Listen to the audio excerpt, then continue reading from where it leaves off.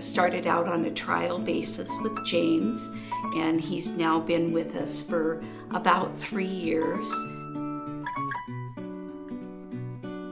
Skylar has been working at Ace Hardware in Anacortes since 2008.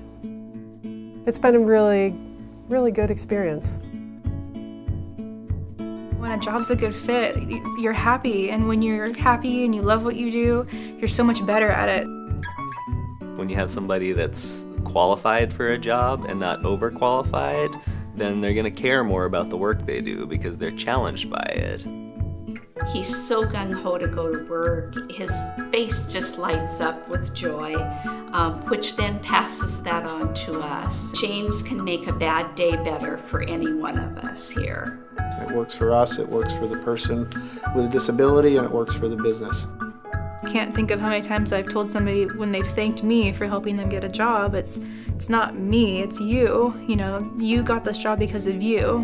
When I wanted to move on to another job, they helped me find the one at Ace Hardware. Ace Hardware has helped him feel stronger about himself. The opportunity has given him a purpose. He's just been wonderful for us all. It's about helping people help themselves.